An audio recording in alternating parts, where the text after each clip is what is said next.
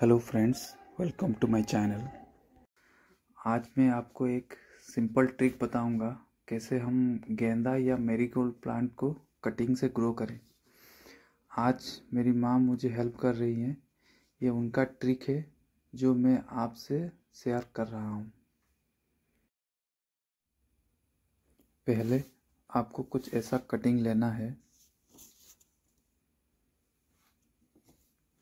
मैं कुछ पाँच से छः कटिंग लिया हूँ।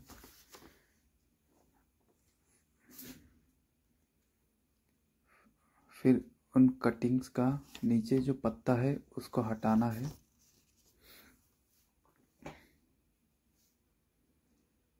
आप हाथ से भी हटा सकते हैं।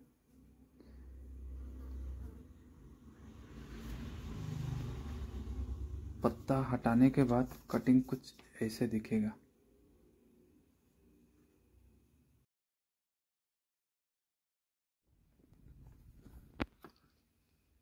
फिर आपको कुछ थर्मोकोल का टुकड़ा लेना है और उसका बीच में एक होल करना है। फिर उस होल में वो कटिंग को ऐसे डालना है और पानी में रखना है। कटिंग का जो स्टेम है वो मिनिमम दो इंच पानी के अंदर होना चाहिए।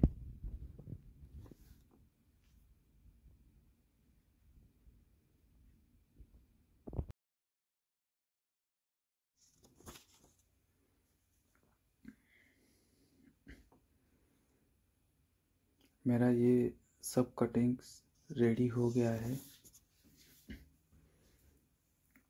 इसके बाद सात दिन तक इन कटिंग्स को डायरेक्ट सनलाइट से दूर रखना है।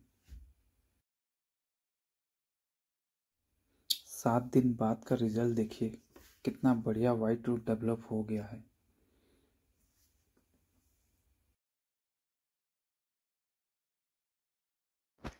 मारीगोल्ड एक विंटर का हार्डी प्लांट है।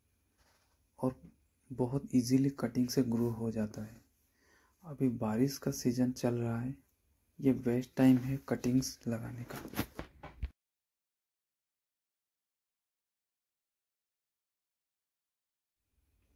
वाइट रूट आने के बाद आप कटिंग्स को फिर सॉइल में ट्रांसफ़र कर दीजिए।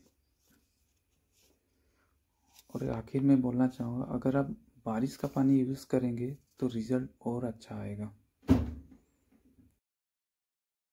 अगर आपको मेरा ये कंटेंट अच्छा लगा या बुरा लगा तो प्लीज़ मुझे कमेंट करके ज़रूर बताएँ। और लाइक एंड सब्सक्राइब करना मत भूलिए, जिससे कि मेरा हौसला बढ़ेगा और मैं आपके लिए नया गार्डनिंग रिलेटेड वीडियो लाता रहूँ।